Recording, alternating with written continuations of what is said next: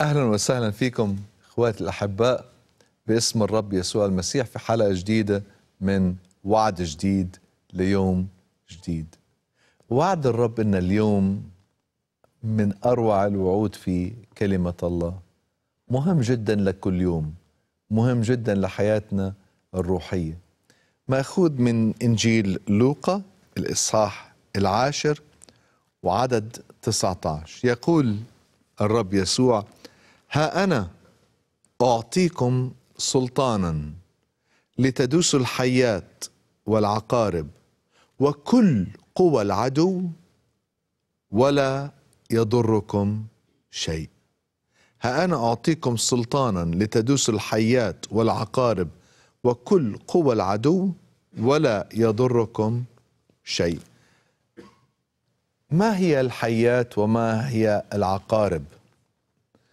الحي هي رمز إلى الشيطان إلى الأرواح الشريرة.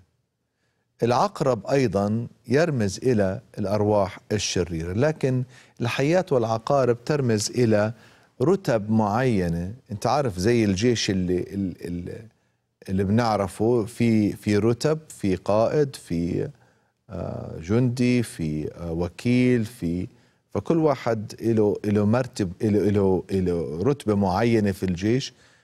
جيش الشيطان نفس الشيء في له رتب معينة. فجميع هذه الرتب اللي بتكلم اللي بنعرفها عن الجيش الأرضي موجودة في جيش الشيطان. لكن هون بقول أنا أعطيكم السلطان لكي تدوسوا جميع هذه الرتب.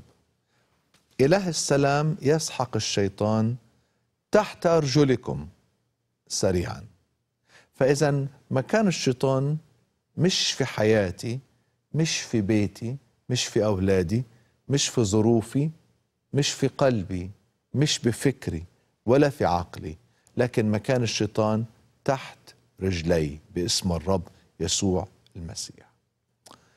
الرب أعطانا هذا السلطان وقالنا ها أنا أعطيكم سلطان.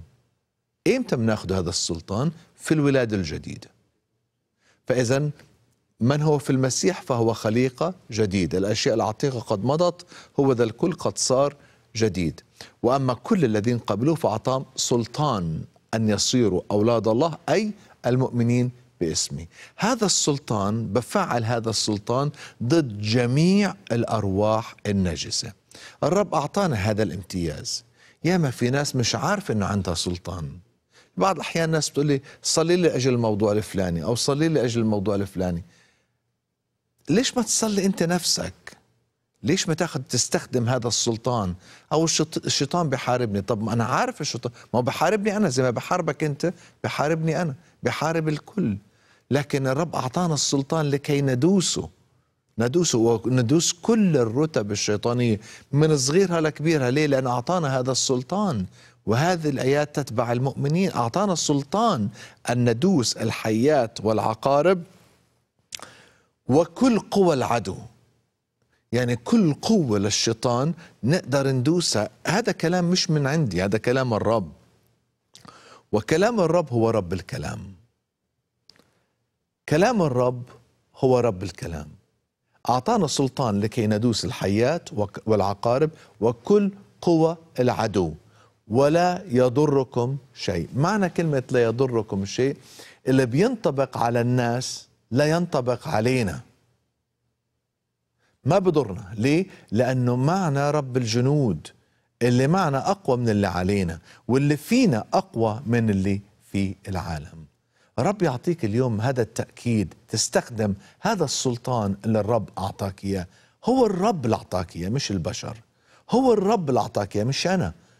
مش إنسان أعطاك هذا السلطان لكن الرب أعطاك هذا السلطان لما قبلت المسيح مخلص شخصي لحياتك. فاستخدم هذا السلطان في ظروفك.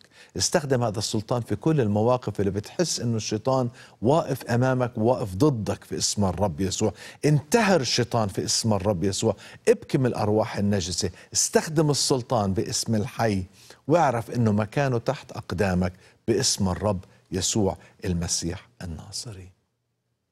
والى حلقة جديدة من وعد جديد ليوم جديد. الرب معك.